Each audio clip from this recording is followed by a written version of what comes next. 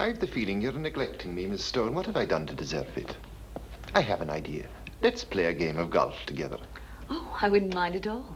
Why don't you meet me in my room when you're through dressing? I don't know how long a lady takes. Less time than you think. Masters, uh, oh, excuse me. That was really very clumsy of me.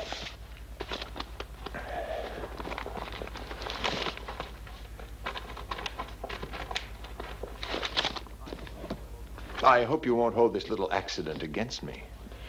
If that was a trick for starting a conversation, Inspector, you'll have to be more inventive. That wasn't very subtle. It's true. You're absolutely right, Miss Stone. I realize I should have a lot more practice in these things, but... Uh...